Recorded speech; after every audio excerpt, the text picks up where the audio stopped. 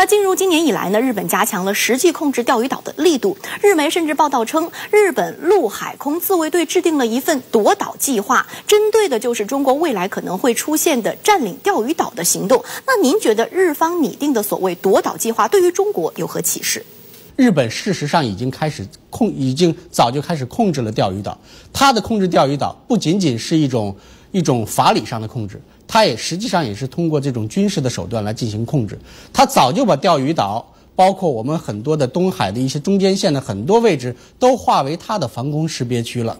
所以在这个问题上，我们必须得强硬，我们必须要动用包括军事手段在内的这么一个武装力量来做好这种准备。也就是说，日本它会有一些钓鱼岛的一些应对措施，尤其他认为中国解中国人民解放军可能会登岛，可能会夺岛。实际上，我们呢也应该有类似的反制计划。我们也应该在钓鱼岛问题上保持强大的一个军事压力、军事的这么一个优势。包括我们的第二炮兵、我们的东海舰队、我们的我们的其他的一些呃空空海军，都应该在方方方面面做好一系列的准备。我觉得日本在这方面给我们一个很大的启示，就是我们做任何事情一定要考虑周密，就跟下围棋一样，考虑五步是战术。考虑一步是权宜之计，考虑十步以上就是战略。我们在钓鱼岛问题上一定要有战略方面的考虑，而不是仅仅是权宜之计。